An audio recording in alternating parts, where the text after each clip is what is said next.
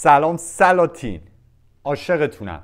خیلی خوش اومدین به چنل خودتون. با آرزوی آزادی برای همه همه همه مردم ایران. امروز می‌خوام در مورد این صحبت کنم که کی تموم میشه کی درست میشه کی خوب میشه.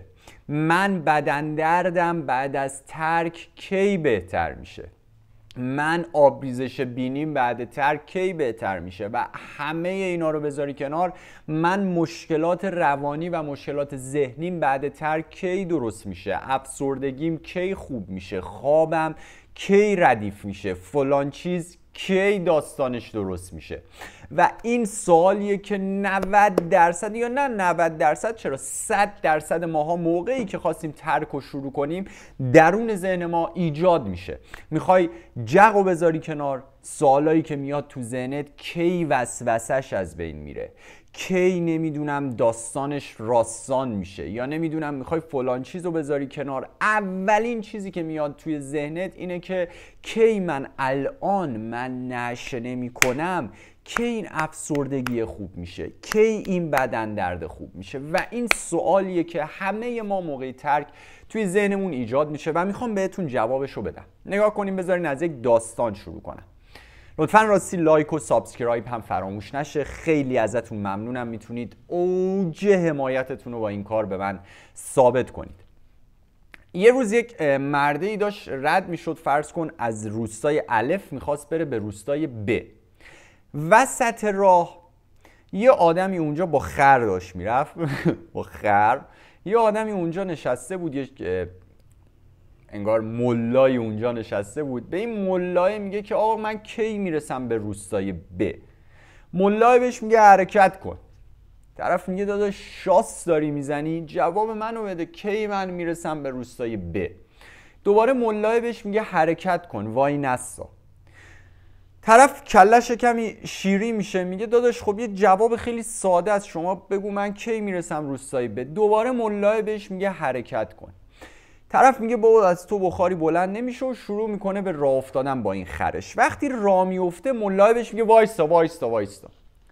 طرف میگه که جون بفرما چی شده. ملای میگه دو روز دیگه می‌رسی. طرف بهش میگه خب همون اول به می‌گفتی کی می‌رسم. ملای بهش میگه من باید نگاه می‌کردم ببینم تو با چه سرعتی داری حرکت می‌کنی که بهت بگم کی می‌رسی. داشتی داستان و خیلی این داستان یک فراآگاهی خیلی جذاب داره. خیلی مهمه که شما با چه سرعتی دارین حرکت می‌کنین؟ چقدر خوب شدن و دوست داری؟ سرعت شما یعنی چی؟ یعنی شما چقدر دوست چقدر عاشق اینی که به اون برسی؟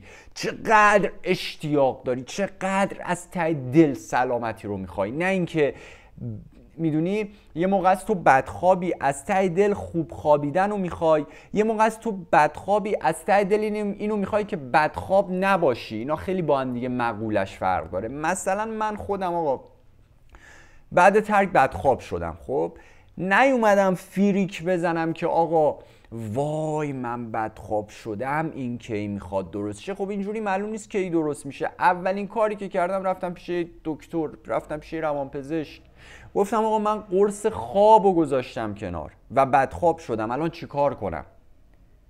خیلی سهن است. می‌دونی تو وقتی نشه رو می‌ذاری کنار نشه کارش خوابوندن تو نیست. نشه کارش اینه که نشه رو می‌ذاری کنار تو اون بدن درده رو مخته. ولی وقتی قرص خواب رو می‌ذاری کنار رفیق یعنی تو دیگه یه چیزی که تو رو میخوابونده رو ترک کردی.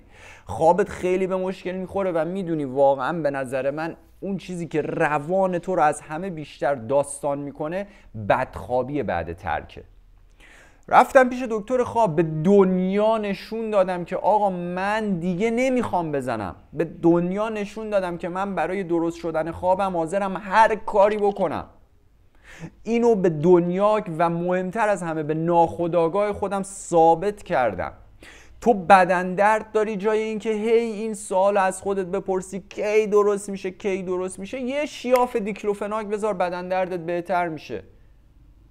و منتظر باش تا درست شه. تو باید بری یه فرایند آدم داریم تا آدم. آدما مثل ماشین نیستن. یکی از دو ساله داره مصرف می‌کنه می‌ذاره کنار اندازه 20 روز درد می‌کشه. یکی پنج سال مصرف می‌کنه می‌ذاره کنار دو روز درد می‌کشه. یه یک چیز نت نیست چیز واحد نیست. یکم این روان من خیلی من بچم به خدا سلاتین یعنی توی بیمارستانم این پرستارا و اینا هرچی سنشون بالاتر میره بیشتر منو دوست دارن. چون من خیلی بچم یعنی می‌دونی ناس کردنی هم لوسم. اینجوری هم. خیلی دیر ناراحت میشم. اصلا نمی‌دونم عصبانیت یعنی چی؟ خدا رو شکر. اصلا واقعا نمی‌دونم عصبانیت یعنی چی. یعنی افتخار می‌کنم به خودم. امیدوارم شما هم البته می‌دونی این یک چیزای خوبیه چیزای بدی داره. خیلی جالب بود. اون روز یه مریضه اومده بود خیلی کارش دیر را افتاد از دست من ناراحت شد و اوج تیکه ای که حس می‌کرد دیگه بتونه عقدش رو سر من خالی کنه این بود که یه بچه رو گذاشتن اینجا برای دکتری. می‌دونی چی میگم؟ یعنی چون ریشا اینا هم که نمی‌زنم خیلی نگاه بیبی و اینا میشم یعنی همه فکر می‌کنم 22 23 سالمه. بعد دیدم شما هر چیز خوبی که داشته باشی بازم برای یه سری بده. یعنی تو اگرم بخوای بگی که نه من اصلا عصبانی نمیشم این یه سری جا بده یه سری جا خوبه. حالا بگذاریم داشتم چی می‌گفتم؟ داشتم اینو می‌گفتم که اولین و مهمترین چیز اینه که عجله نداشته باشی. عجله کار شیطونه. تو وقتی مریض میشی مثلا آقا تو وقتی کرونا داری یا آنفولانزا داری من وقتی مریض میاد پیشم دوست دارم بیشترین چیزی که بهش بگم اینه که رفیق من. این سرماخوردگی نیست. پس عجله نداشته باش که خوب شی. طرف میاد آنفولانزا داره میگه دکتر مثلا سه روز پیش رفتم جای فلان دکتر بهم دارو داده هنوزم بدن درد دارم. خب بابا این سرماخوردگی نیست. بدن درد داری یه شیاف دیکلوفناک بذار یه قرص ناپروکسن بخور و عجله نداشته باش زود خوب شی. همین عجله باعث میشه که تو استرس بگیری. خیلی مهمه تو با چه سرعتی به سمت خوب شدن قدم برمیداری. اون موقع است که من می‌تونم بهت بگم تو کی خوب میشی.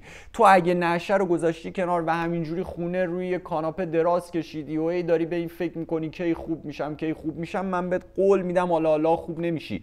ولی تو اگه یک دراگی رو گذاشتی کنار و از فردا شروع می‌کنی میری ورزش شروع می‌کنی ورزش هم حالا نه نمیریم. من خودم ورزش نرفتم. شروع می‌کنی یه کار جایگزین اونو پیدا کردن. شروع می‌کنی وقت خودتو با کتاب پر می‌کنی. شروع می‌کنی نمی‌دونم برای اگه مشکلاتی داری میری پیش دکتر. چون می‌دونی وقتی تو نشه می‌کنی یا وقتی تو هر دراگی رو می‌زنی مثلا سرماخورده دراگ می‌زنی حالت خوب میشه. فلان چیزی دراگ می‌زنی حالت خوب میشه. افسرده چت می‌کنی حالت خوب میشه.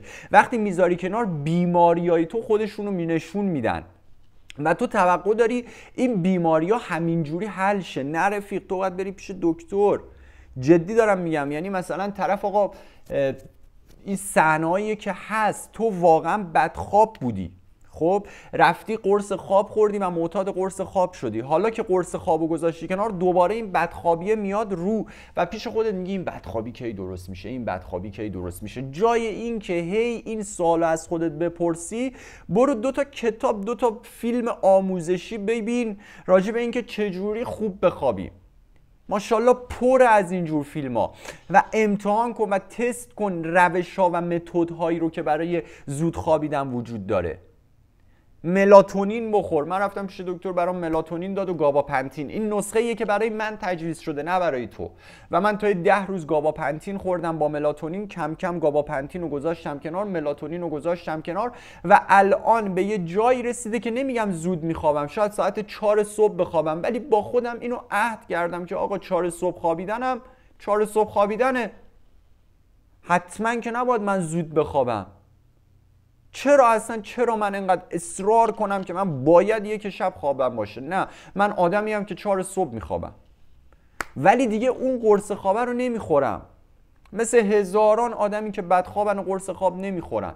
مثل هزاران آدمی که زندگیشون بالا پایین داره ولی سیگار نمی‌کشن. مثل هزاران آدمی که بعضی روزا ناراحتن ولی چت نمی‌کنن. مثل هزاران هم مثل میلیون ها آدم. برای همین رفیق اولین چیزی که در جواب این حرفی این که آقا کی این مشکلات ترک خوب میشه اولین چیزی که برای تو لازمه متوجه بشی اینه که like کنی و subscribe کنی و کامنت انگلیسی بذاری. دومین چیزی که باید بدونی اینه که اصلا این سوال مغز تو رو می‌خوره. برای همین این سوالو این نپرس که کی خوب میشم کی خوب میشم کی خوب میشم. جای این بگو من باید یه روزی خوب شم. من مطمئنم یه روزی OK میشه. من ایمان دارم یه روزی OK میشه. و مطمئن باش ناخودآگاه تو خودش رو می‌سازه. تو خودت در این جهت وارد خواهی شد. دنیا تو رو وارد اون مسیر خواهد کرد. بهت قول شرف میدم. خودم انواع اقسام drug ا رو بجز محرک بجز شیشه و حالا متامفتامین و کوکین و اینا. خلاصه داشتیم دیگه. من تجربه کم نیست. شما را شماها رو هم دیدم توی این زمینه. عجله نکن و به دنیا ثابت کن که آقا تو حاضری هر روشی رو امتحان کنی. طرف برای ترک سیگار میره یک کتاب می‌خونه به اسم ترک سیگار به روش آلنکار. خب مسلما این آدم خیلی راحت تر می‌تونه ترک کنه. از اونی که جاش نشسته میگه من می‌خوام سیگار رو ترک کنم. کی پس من می‌تونم سیگار رو ترک کنم؟ متوجهی؟ بستگی داره تو با چه سرعتی بری به سمت ترک سیگار. عجله نداشته باشین. خیلی ممنون از اینکه با منین. عاشقتونم. خاک پاتون سرمه چشمای من باز هم میگم با آرزوی آزادی. تا دیداری دیگر.